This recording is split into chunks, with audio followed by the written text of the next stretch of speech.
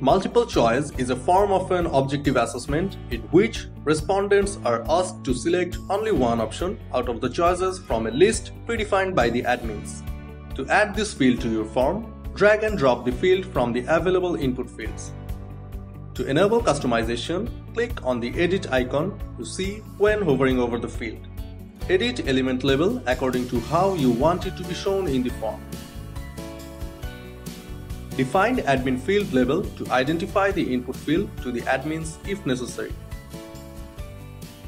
Create options for the field and checkmark them for default selection. Mark show values as checked for the ease of admins if needed. Name the options.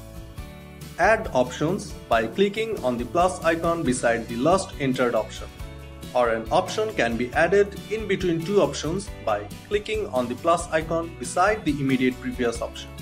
Drag and drop the options holding the marker and rearrange them if required. Determine whether the field could be empty or not when the users submit your form by choosing the appropriate option from requirement settings. In advanced options, container class and element class can be used to style the element. Define a help message if needed.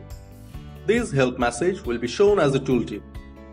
Learn more about help message customization in form layout settings documentation. The input field's name attribute is the HTML equivalent of the same name. Define if there are any conditions to be fulfilled for this input field. Learn more about conditional logics in the link given in description.